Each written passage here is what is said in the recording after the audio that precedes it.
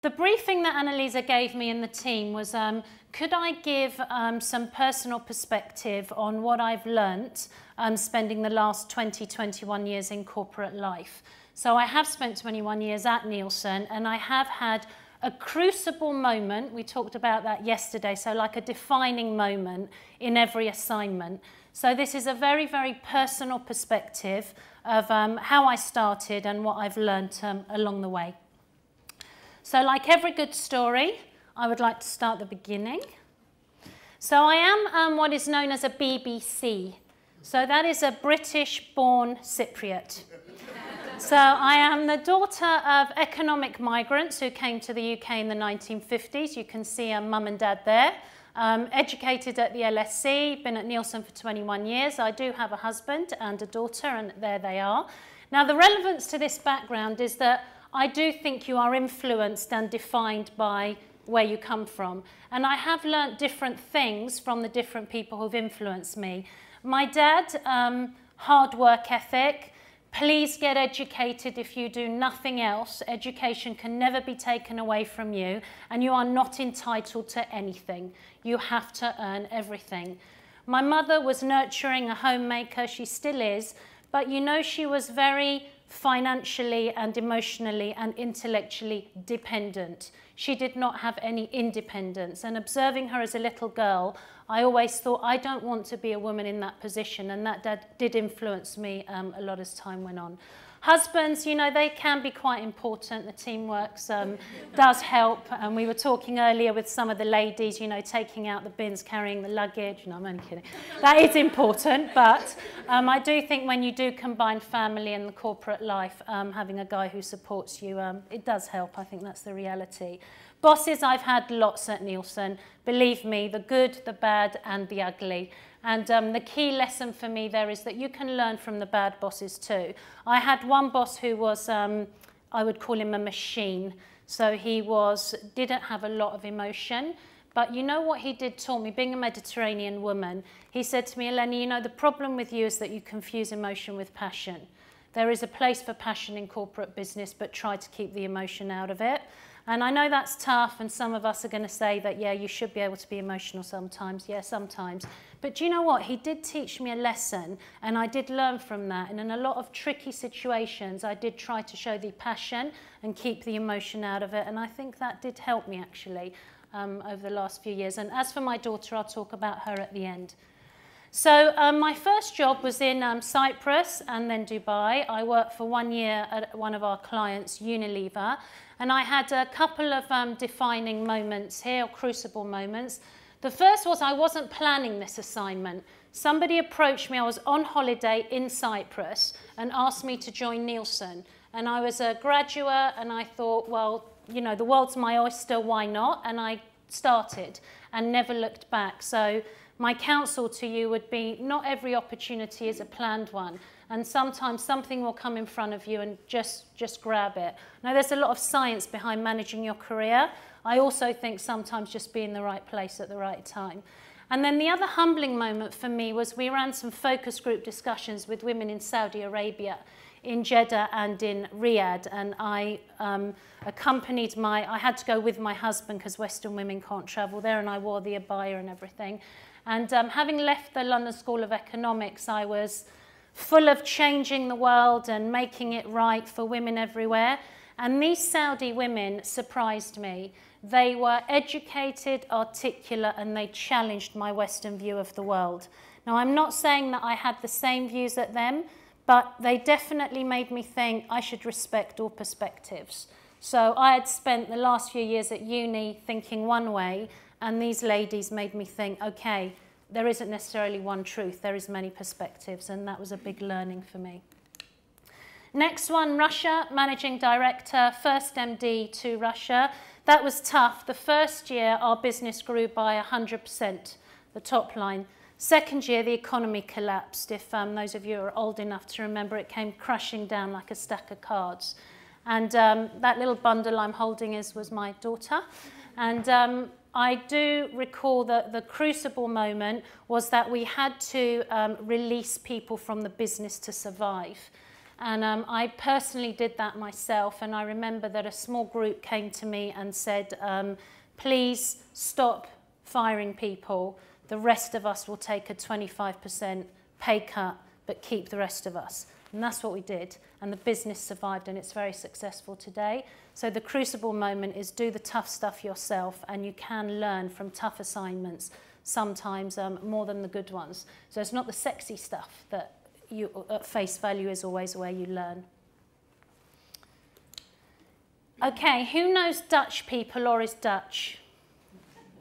So they're pretty direct, right? So this was my next assignment. Before I arrived, a delegation of three Dutch males from our Dutch business approached the president of Europe, Nielsen, and said, that woman you're sending, we don't want her. She's too young, she's not Dutch, she doesn't have the right experience, and she's a woman. now, crucible moment, rejection really bloody hurts. Um, and I did take it personally, I did find it tough, um, but I wasn't defeated. I was sponsored by a senior male executive who said you have to accept who we've chosen. And really, I did, I think, over time, we, we turned around the business together. And my crucible moment was do what you say and say what you do and communicate. So I got there, we had some very frank discussions, and I said, the business is in a mess. I'm here to help. You're with me or you're not with me, it's your choice. And um, actually, um, when I left this assignment, it was probably the most emotional leaving party I've ever done because the rejection and then the loyalty that I got afterwards was really, really powerful. UK and Ireland, the next um, assignment, this one was pretty big, and my crucible moment was I can't just walk around a room and personally influence everyone. I'm now running a company that has several hundred people, and I need to achieve success through others. So I had to adapt my leadership style because um, I do like to talk and make an impression, and I, I, you can't do that when there's hundreds of people. So that was a crucible moment. The other one was um, this man here, he was 84, I think, when he visited Oxford, and he was called um, Art Junior, which I think is fantastic that he was called Junior and he was 86. But he is the founder, um, senior Nielsen's son. Um, he's passed away now, but he came to visit us. It was his last international visit, and he told us about the history of Nielsen and how they started and how they'd promoted women and um, the concept of the market share and how it was invented. But it was a real privilege to spend three days with him, and it made me remember the importance of heritage and not just the future. So you've got to build on, on history um, to, to move forward. And the other really big one I do want to share is that men fail differently. Um, during this assignment, I had my first, um, I would say, failure. We lost a big client. Um, I was devastated. I tendered my resignation. Um, they told me not to resign and try to turn it around, which I then did and won a, an award a year later. But there's something you can learn from that. There is that men fail differently. He externalized the failure. I internalized it. So who's right? I think there's something we can learn from these guys. Then my next role was a transformation role. It was come out of running countries and regions. And um, this diagram here is what my boss drew on a napkin in a restaurant. And he said, I want you to transform our client service organization. I think you're going to have to improve it, change the service offering, and look at the talent. Um, that was terrifying um, because I had gone from being the boss and running lots of people to suddenly having to influence people. And my crucible moment was don't be afraid to take authority, um, even if the reporting lines on the org chart don't end up at you. Um, if you have the experience and the credibility, you can influence people and, and people will follow. And um, don't fear a new direction. Even if it's completely different to what you've done before, have the confidence to take it and, um, and move on. And I have run out of time, so I'm, I'm going to wrap up. My current job is actually in the area of outsourcing, and we set up hubs globally. My message to you is um, try and stay relevant in your institutions or organizations. So I had, um, Monica said it yesterday. She said, it is your responsibility to understand the strategy and how the world around you is moving. I realized that we had built a global relationship with a company called Tata Consultancy. It was a 2.5 billion deal. It runs to 2020. I thought, hmm, now either I should be afraid of that or I should be in the middle of it. I decided to be in the middle of it, and that is my um, current role. That's a summary of all the insights. I can forward that to you, but this is like my crucible moments on one slide.